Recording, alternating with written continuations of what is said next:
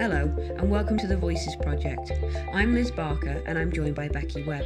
And together on this podcast, we talk to people about their experiences of the arts during the COVID 19 coronavirus crisis of 2020. We ask people how they got into the arts, what the arts means to them, what it's been like during lockdown, and what they think the future holds. Today we are joined by Andy Dockerty, who is the managing director of AdLib, an audio, lighting, and visual hire, sales, and installation company that he founded in 1984 with just a PA system and a transit van. Andy built AdLib from the ground up, and the company now employs over 160 full time members of staff and works on large scale events, including many international music tours and large festivals.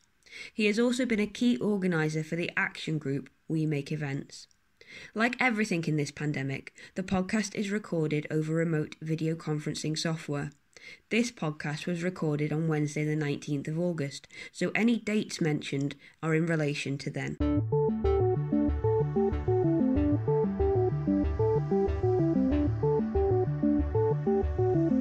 Thank you so much for, for joining us, Andy. I was just wondering if you can tell us a little bit about yourself and about AdLib and about the journey over the last 35 years that you, you and this company have, have gone on and how we got to where we are today.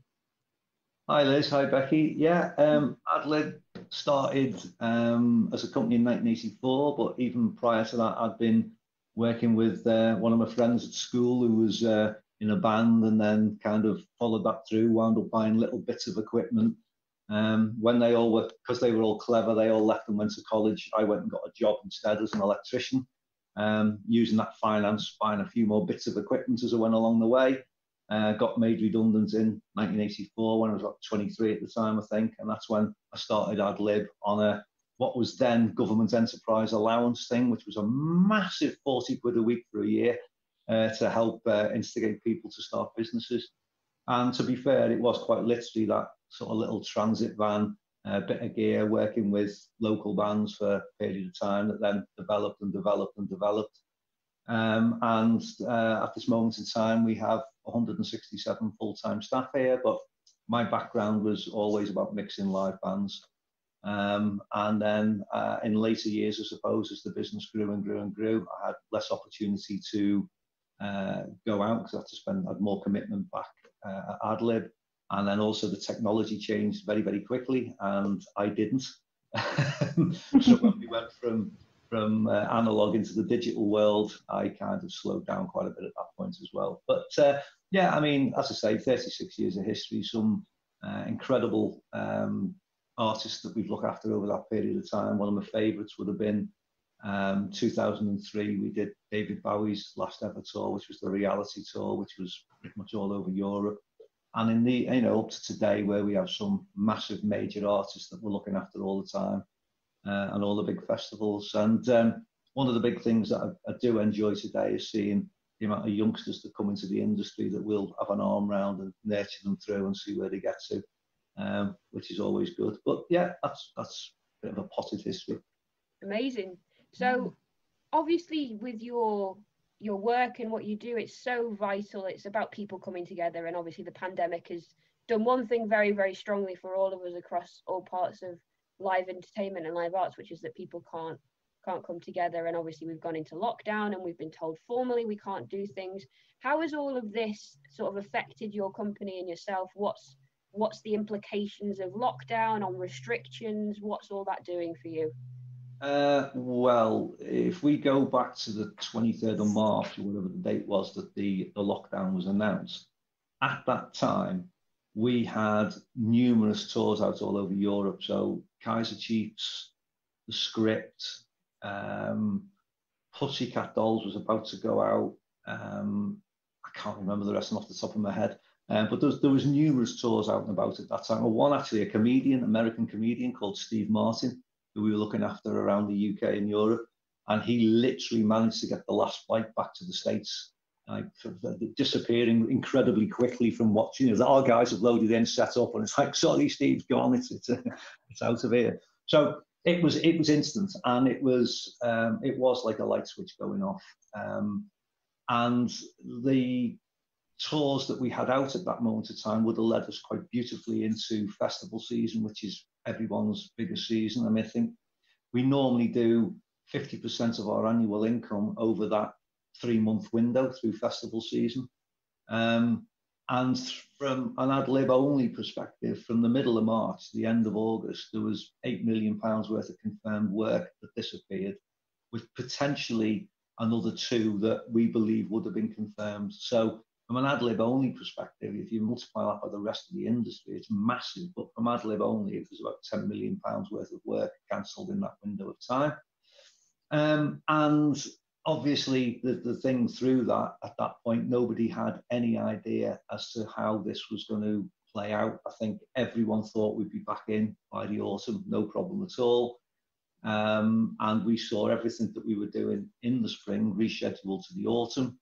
And now we've seen everything in the autumn pretty much shoved back into um, next year. And, and people are going for the back end of next year. They're being a little bit nervous about how quickly we will be returning to work. And, and as you say, the issue that we have, of course, is that um, mass gatherings aren't allowed. And we shouldn't be fooled by the government saying that theatres are now open because 20%, you know, that's, that's sorry, that's about um, one metre social distancing. We're still looking at about 27 to 30% occupancy.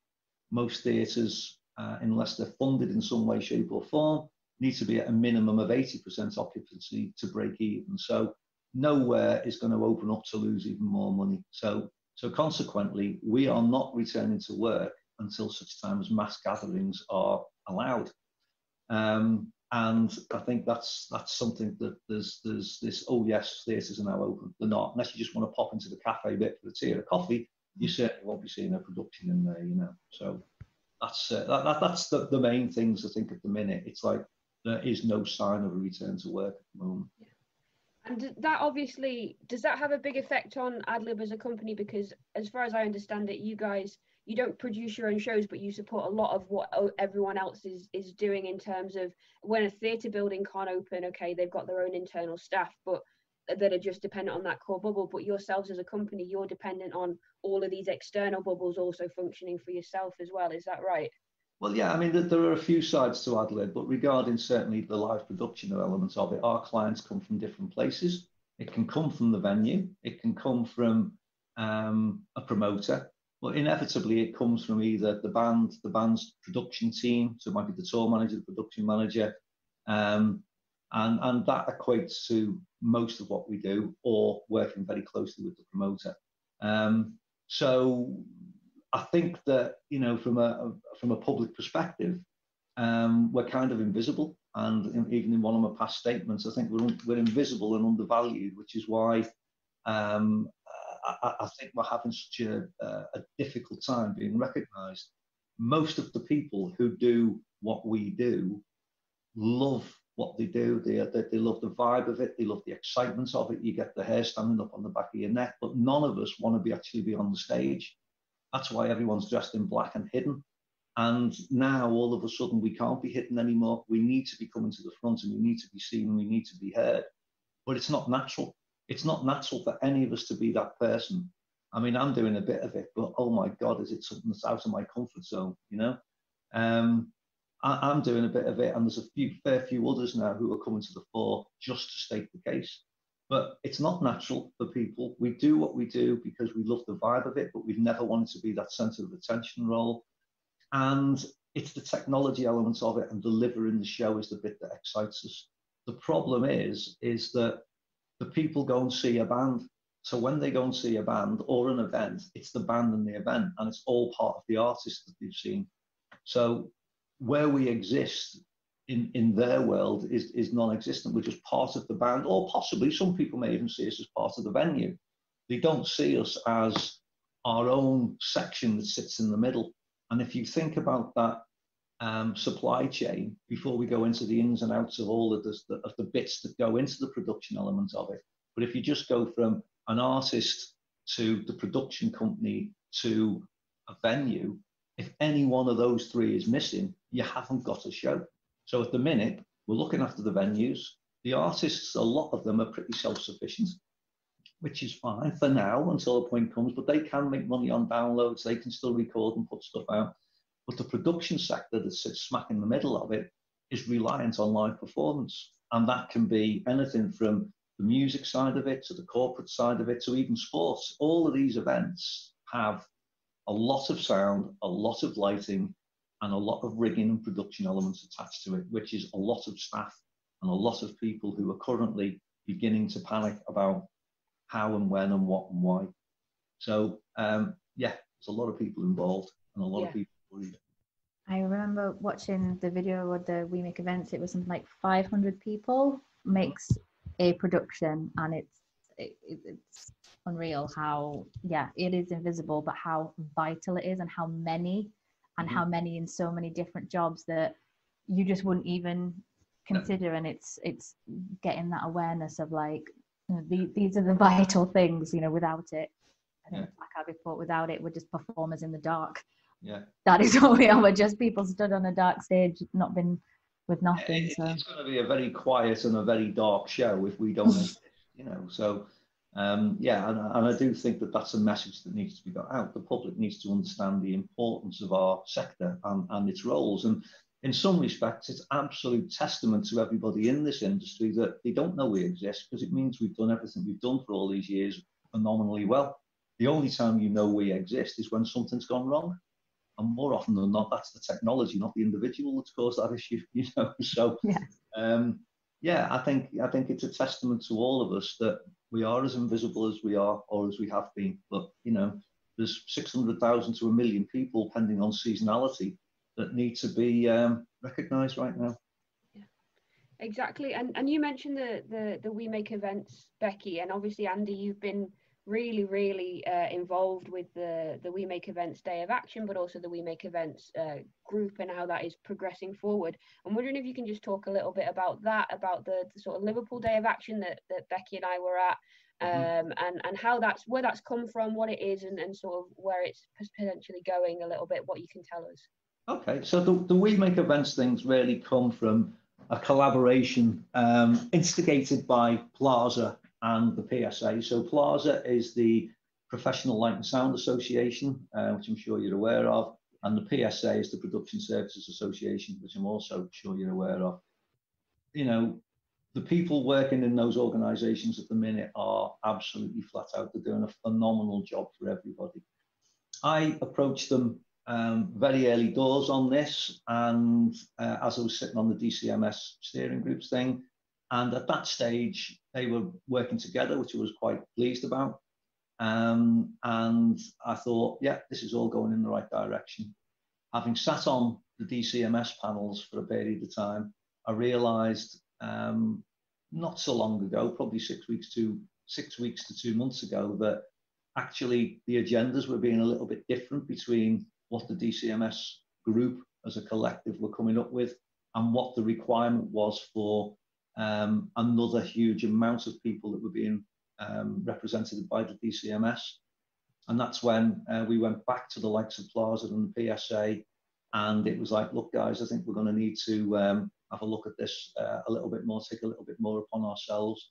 And then out of that, those groups pretty much got started to get together a group of industry um, renowned characters who've all been in it for a long time. Some of you much, much bigger um, organizations, your bigger groups, your bigger uh, representatives who've now come together to form this sort of um, mass group of about 100 people sitting in on it, all of which are pretty much top of the tree, um, all of which are coming together in a way that actually is unique. You know, I've got rival companies you're bidding against all year round who are now brothers in arms while we're we're we're, we're fighting the good fight. You know, and um, and it's an absolute testament to everybody involved.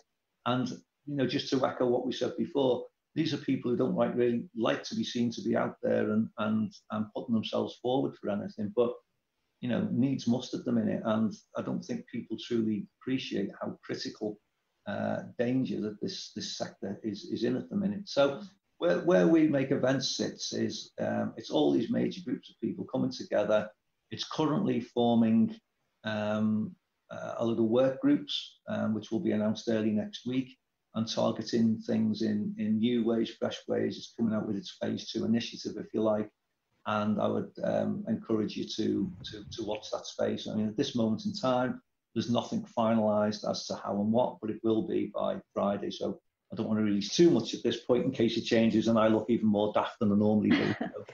So, uh, I'll, I'll, keep that one under wraps for a minute. But yes, you've got a lot of people who are big in this industry who are coming together for the greater good. Um, and with that, you know, the, the whole We Make Events thing, um, a gentleman by the name of Gary White is a production manager who looks after things like um, New Year's Eve and in London. So understanding all the river police, all the normal police shutting the place down, social distancing, that man pulled that whole London River Thames thing together in something like 20 days, which was absolutely ridiculous what he managed to achieve in that. But he did it because of the cooperation and the coordination of all the other major, major companies that were involved. So again, for our industry to pull that together as an awareness day, so it was a kind of hashtag the red alert but, and we make events day, is just to sort of get it out there. Or to, that was phase one. It's almost like re- reaching base camp now, where okay, we may have a little bit of publicity, we may have a little bit of press, but the job really starts now. Um, and I think that's what that day was all about. It's about announcing our arrival in some respects, but it's it's just the tip of the iceberg. It has to be. You know, we now have 74 days to be able to um, create a really big noise and hopefully some results. And those results can be as simple as when can we go back to work? Because it helps people plan. So we make events is, as I say, a, a, a huge conglomeration of lots of uh, bigger organizations, and that's companies as well as, as trade organizations um, actually really having a, a, proper go. So, you know, I, I, I, all I can say at the end of all this is if nothing's been achieved by the end of this, then it won't be through lack of effort, you know. Um, it will be through um, an amount of ignorance as to what our sector actually is. I think I think that word ignorance is it really does sum up a lot of the reaction I tend to get when I try to talk about this to people. And I know Becky, you probably experience it likewise. That actually there are the vast majority of the, the public, but also a lot of politicians that I know we've been talking to, that you've been talking to as well, who just don't really appreciate the scope of what we do. They see the show or they come to the gig or they they watch the live stream or and they they see that one moment and they think god that that was amazing but that's what they did but they don't see the community outreach that we do they mm. don't see the sort of weeks of production pre- uh, uh, preparation that we put in they don't see all these little cogs that make the big machine actually look like the big machine now i know that um, you were saying to us just before we sort of mm. started that you you as um, at adlib as well you do a lot of work experience and community stuff as well. I wondered if you wanted to just talk to us a little bit about that so we can get a, a wider scope as well of obviously this is massive for the industry, but also in the in the Liverpool community, you guys are really important as well. Yeah, I mean, it, it, it goes back to, uh, you know, we do have, um, I don't particularly, this to me isn't about AdLib, it's a much bigger picture than AdLib, but just on that once a little bit, you know, we do actually have a worldwide reputation for how we bring youngsters into the industry. And whether that be someone we discover as an incredible talent at 14 who's come and done a bit of work experience, or whether it's the first job for somebody who's just completed their degree at the community college, LIPA, um, or any other city organisation that you would like to mention. Um, but yeah, we have our own programs in here as to how we take that talent at whatever stage it is and develop it and bring it through. But in all that, we do provide lots and lots of work experience opportunities for anything that's educational in the city, from the schools right the way through to um, all the, the uh, courses run by, as I say, the John Moores, the, the, the, whatever. But there's lots and lots of work experience opportunities provided here. And that's, that's people's chance to shine, you know. So we've got, I could tell you stories of at least probably up to 10, 14 year olds who came here on a week's work experience who we recognise as people who, yeah, they're living and breathing this at 14 and the second they leave school, left school at 16, they were here. And in you know most cases, when people do that, they've already toured Europe, oh, God knows how many times by the time they're 20. Whereas, you know, there's others who've gone through the whole educational thing. Have it come out at 23 and still been 27, 28 before they've reached that point.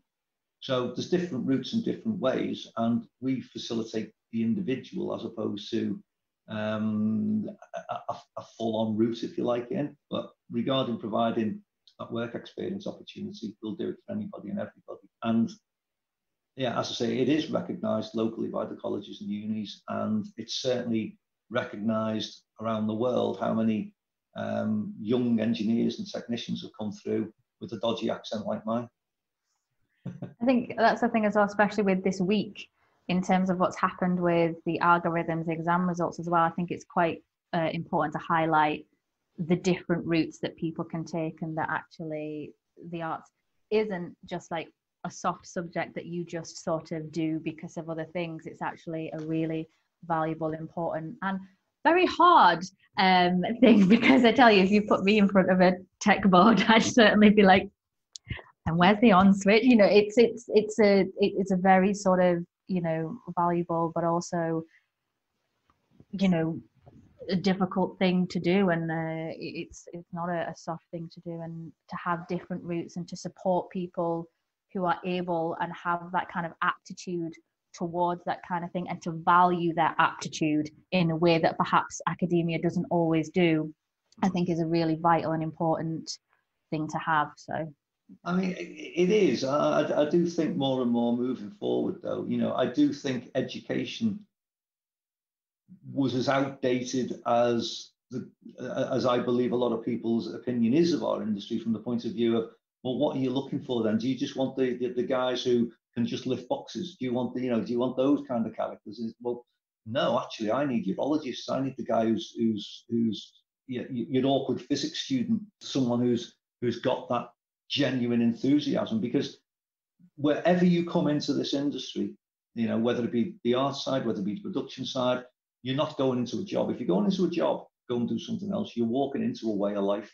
And if you're not prepared to walk into that way of life, then go and do something else and your social circles wind up being the people that you start working with. And ultimately, because you're all like minded uh, more often than not, and you have the common goals and the common interests. So the fact that it is as demanding and um, uh, uh, it, its, its requirements are massive in comparison to any other job.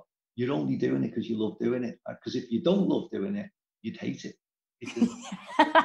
it's a fair point. Entirely, yeah. I, I often have that conversation with people when they ask me what I do because I have a, a range of things that I do, but I do a lot of work at the Edinburgh Fringe Festival. I do a lot of work in sort of more theatre based production stuff. But trying to explain the Edinburgh Fringe Festival to someone who's never worked or attended it as to why I like to do it is, is something that never makes me sound like I'm saying. It's that thing of, well, I go yeah, up for night. I've lived there for two and sleep. Yeah. yeah. I live there for a month and a half and I build venues out of nothing and then we don't sleep and then we put on some massive shows and then we rip it all down again. And they're yeah. like, and it's fun. Yes, it's amazingly fun. It's incredible. But it's that that thing of actually um, that a lot of people don't realize about what we do is the passion behind everything that we're doing and actually that we make a lot of sacrifices i think to do what we do but we do that because we care so much about what we're doing. But now i feel we're being asked to make more sacrifices than we are being able to retreat. Yeah, it's it's the camaraderie and sense of achievement of doing an event from either an open field to something that a couple of hundred thousand people might come to and enjoy and then turning it back into an open field at the end of it yeah. or just you know on a touring basis you know people would have no idea that if they've been to a show at the um, M&S Arena in Liverpool um, that all that equipment that was in that roof and on that floor that day will be in Manchester tomorrow. It's the same stuff, really. You know, it's like how many trucks was that then? You know, it's it's the ignorance. Has been I used that word a couple of times now, but the ignorance towards our skill set is immense, and it's nobody's fault, by the way. I'm not calling people ignorant when I say that at all. It's it's like I said before. It's because we've been brilliant yeah. not yeah. because they're wrong. You know, it, it certainly isn't that. Um, and I, I think I do think that, as I say, part of a campaign moving forward is for the public to just have a little bit of awareness of what we do. And if they do want to see shows and gigs again moving forward or go to events again in the future, if we're not here, they won't be. you know, so it is that supply chain right the way across the board is is critical, absolutely yeah. critical. That's it. That's entirely it. Um, so the the thing we're sort of asking everyone who who comes on this this podcast to sort of to to have a think about and to share with us is say if you you manage to get to sit down with with Oliver Dowden, our, our culture secretary, with Rishi Sunak, our chancellor, and with Boris Johnson, our uh, prime minister, um, and you could you could sit down and you could explain to them the problems we're facing and how you think they could a- approach fixing it, or specifically how they could fix it. What what would you say to those people? Well, I think first of all, what you'd have to do is is try and understand what it is that they'd want to understand. Yeah. And I don't. I think the first thing that you'd want them to try and do is to actually accept that the industry itself is incredibly technical and very technically gifted. And if this industry went on strike for 24 hours, they couldn't publish anything anywhere. They wouldn't be on the television. There'd be no radio. There'd be no kind of events whatsoever. If if it's it's understanding its scope to start with, because its scope is massive. So that's the first thing I try and get them to understand. The second thing is I try and get rid of the myth of what they think we are. So, you know, again, a gang of roadies throwing some stuff on the stage is not where this industry sits. Again, the people who do that job is a critical part to it and of it. And I don't want that to be um, undermined in any way, shape, or form, or even again underestimated. It's part of it, but that's part of that 500 that we were talking about before. Um, but it's it's it's the appreciation of the technology, the skill sets that are involved. But again, that doesn't mean a great deal to the government. The bit that will really make the difference is what is its value. And I think if we look at, you asked me a question earlier about what does it mean and where does it sit. I don't think there is a true appreciation of the value that I would say the live sector brings to the full picture.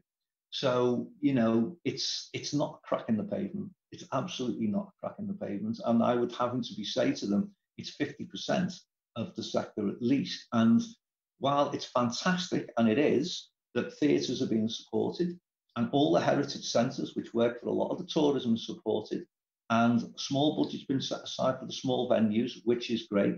All that's really good. But the 1.57 million, as it's been allocated at the moment, um, is looking like it's been structured in such a way, um, and I'm going to use that word allegedly here, but it looks like it's been structured in such a way that it is aimed at the theatres and the heritage centres and the small venues. Um, and this sector that we're talking about, the invisible sector, um, which is, you know, 50% of the income and and probably considerably more of the profit margin because that sector includes all your festivals, all your promoters, all your live touring at any level you want to mention, but certainly at arena level. And it includes all the corporate sector. And the corporate sector, again, is lots of massive, massive events that are going on in arenas that aren't for public notice or consumption. So they're not even aware that they're going on, but also makes up part and parcel of our sector.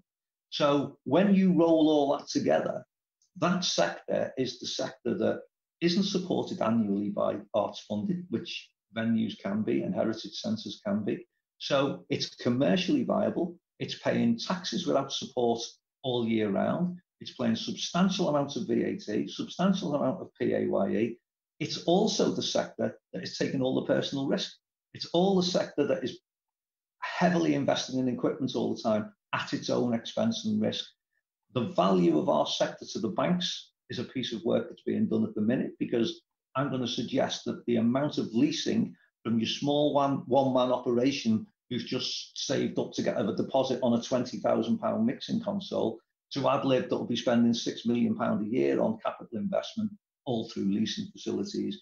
If you take that by the thousands of small companies and the other companies who are much bigger than Adlib, then the amount of money being generated and spent is phenomenal.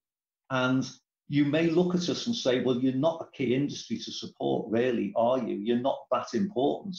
Well, okay, I can understand how a lot of industries may be a little bit more important, but we'll give you that, but actually we're worth this. And that amount of money that we're generating over here that's paying in taxes is supporting you in that, that, and that. So maybe we are important. So even if you even if you don't value us here because you don't understand what relief we give to people and what sense of enjoyment that we provide and life memories that we give, if you don't value that, then at least value the money. And I think that's exactly where we need to be going with all this at the minute. So that's Fantastic. what I'd say. Brilliant. yeah. That's it. And I, I always, yeah, I always reflect on the fact that I wonder how many um, how many politicians realize how much their party yeah. conferences are supported by people like us and what we do and how much they're reliant on us turning the lights on in the venue and, and making sure their microphones work and and doing all of that sort of stuff as well. And and these are the things that people don't see. There are there are the three things that, I, that we need to ask for. I, I didn't re- i should have really finished this. So in saying all that there's the three key things that need to be asked for at the minute. One that the acceptance of the skill set of our people and the acceptance that despite the fact that you've said you've opened theatres, you haven't. And the only way our sector returns is when social distancing is a thing of the past. Now, how that happens, whether it be uh, a vaccine or whether it be it's under control, that's up to debate, obviously. But ultimately, until such time as mass gatherings are allowed, all employees of companies of this sector must be supported by the government. We know the stopping furlough, so just create something sector based that obviously you're telling us we can't work. So morally, at least you've got to be supporting us. Exactly the same applies to the freelancers. I do believe the freelancers need to be categorized in such a way because I thought that I'm almost convinced that the government will look at the freelancer as a one man band who is either an electrician or a plumber or this, that, and the other. Our industry specific freelancers need to be recognized as that and supported in exactly the same way as I've just mentioned for the, for the um, uh, employed people. And the next biggie is that our sector will have been out from March 23rd, as discussed before, till whenever it goes back. And whenever it goes back at the minute is potentially, people are guessing April and May next year. So we will have been out considerably longer than any other sector. Therefore, our losses by percentage are going to be far, far greater than any other sector. And the government needs to recognize that and provide lo- loans, sorry, not loans, they need to provide grants rather than loans to recognize those additional losses that our sector will have gone through because our sector will, as soon as that switch is turned back on, will move so much faster than any other sector because people are chomping at the bit to go and do anything. Artists are chomping at the bit to get out there. And we've got warehouses full of gear that we want to get out there. It will return quickly. It will return as quick as it takes a promoter to get the ticket sales and the billboards up.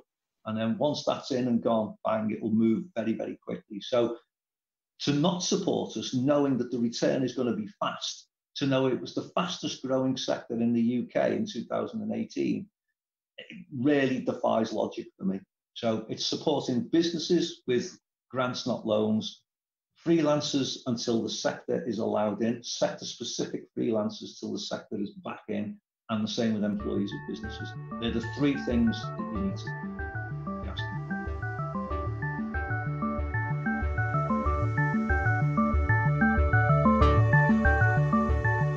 Thank you for listening to the Voices Project. This podcast is produced by March for the Arts. The Voices Project is an open platform for anyone who is involved in any way with the arts to share their thoughts, feelings, and experiences of art in the current crisis. If you would like to participate and share your voice, you can find out how to do that by visiting our website www.marchforthearts.com. If you have enjoyed this podcast, please take a moment to give us a review, subscribe, or share with a friend.